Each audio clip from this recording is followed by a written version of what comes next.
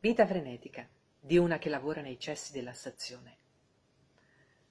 Immagina, giovanissima, chatouche, rosso e biondo mosso, lungo, appuntato da sembrare dritto, labbra tumide, grandi e bistrati occhi, seno prominente e basta invitante. Luogo, stazione, cessi. Lei seduta a un disco, parole crociate, entra gente, automatica, lascia scontrini. Coppia, a godere, si infila nel bagno. Poi ricomincia il casino, i va e i vieni, catene tirate, acqua che scroscia, scroscia. Puzza, lei spruzza a coprire, entra pazzo pauroso, si sgancia cerniera, mostra gli attributi squallidi. Sogna un principe azzurro, lei se lo vede uno che arriva lì davanti al cesso della stazione, col mantello azzurro e il cavallo bianco. La porta via, lontano, al galoppo, sul cocuzzolo, nel castello. Si presenta uno con celeste carrello tutti al gelsomino e deodoranti. Poi padre ubriaco, sorellina piange. Enel, staccato! L'impiegato osserva la scollatura bella. Lei, vaffanculo, grida a dispetto.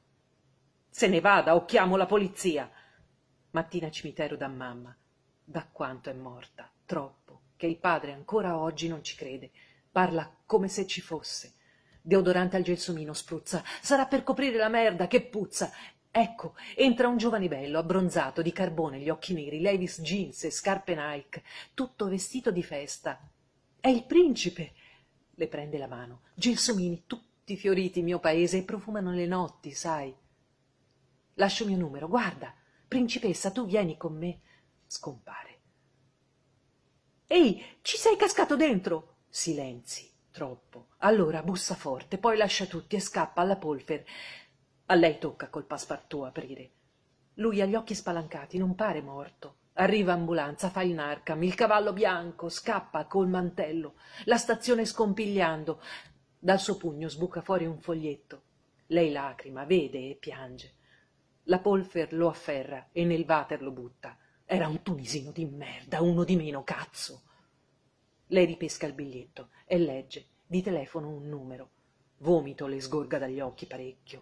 Portano tutti qualcosa, un caffè di McDonald, un cestino a sorpresa. Di più. Profumo di gelsomini, un flacone intero a coprire. Chiama con mano tremante. Lei lo conosce, un ragazzo.